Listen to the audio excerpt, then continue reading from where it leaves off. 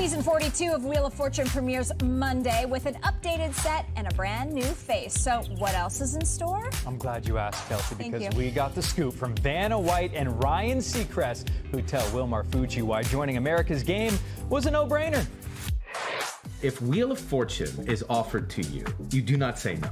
It's just like you just don't say no. You will have bad karma for the rest of your TV life. I Yeah. promise you. Let's take this thing for a spin. This is such a part of American culture. I grew up watching Wheel of Fortune. I loved playing the game, and it's a fun game people can play along to, and it's family fun. What was your reaction when you found out that Ryan was going to be, you know, in the mix and then got the job? Right, I was actually in Italy when I, I found remember out about it. exactly where you were when we texted. You know, Pat decided to retire after 41 years, and God bless him. Well, the time has come to say goodbye. It's been an incredible privilege to be invited into millions of homes, night after night, year after year, decade after decade. And when they said Ryan's going to be the next one, I said, great, because he's so talented, he's so professional, he's so good at what he does. I'm so thankful. Thank you. It's not Wheel of Fortune without Vanna White.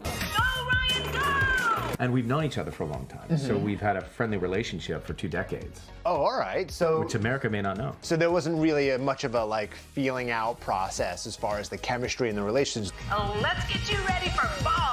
Two Southerners, known each other for a while, wanted to go out to dinner and have Southern food. Do you remember what the Southern food was? Chicken and dumpling. You both make it look so easy. Well, you're never going to find a better job, and you're never going to find a better co-host. I mean, I'm sure you talked to Pat about taking over. We traded messages as soon as the deal was done, and we had a chance to be on set, all of us together. For a while, he said, You're gonna love meeting the three contestants every night. You're gonna love just giving away a lot of cash and prizes. I mean, this is something that is life changing for everybody on the show and has so much meaning, and it's true. I would love to have the kind of legacy that uh, Pat has had and Pat and Vanna have had on the show. Did you get a first aid like first aid jitters? I Was did. it- you did? I had fortunately rehearsed quite a bit. So I think when it got to day one, I was anxious to go and to, to make it real, right? the set looks a little bit different. Everything's got a little bit of a, an update. I think you still feel like it's the same place. It's just a little updated. Does that make sense? Yeah, Yeah, it's yeah. true. I, we had the, the the remodel budget. I love the way that we get to start the show. We enter straight